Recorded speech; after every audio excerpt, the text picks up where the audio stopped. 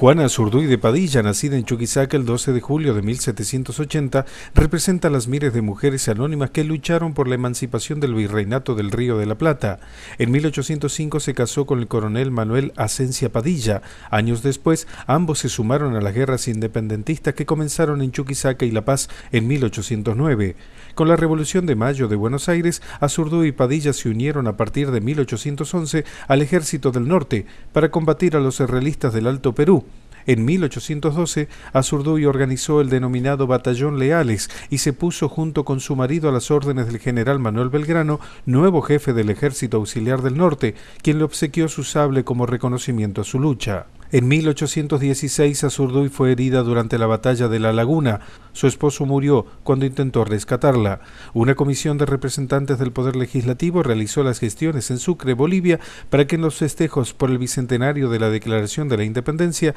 la bandera original de Macha y los restos de Juana Azurduy puedan ser exhibidos en el Museo de la Casa Histórica. Lo importante y, y le pone un valor agregado a la presencia de la bandera, que es el símbolo de nuestra provincia,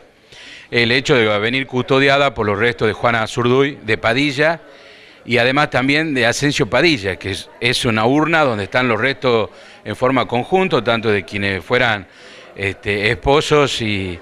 la verdad que para nosotros esto es algo muy importante, muy significativo, sobre todo porque viene este, una mujer y un hombre que ha dado su vida en la lucha por la libertad y sobre todo eh, custodiando la bandera de Macha, que también es un símbolo de la lucha por la libertad que llevara en su momento el general Juan Manuel Belgrano.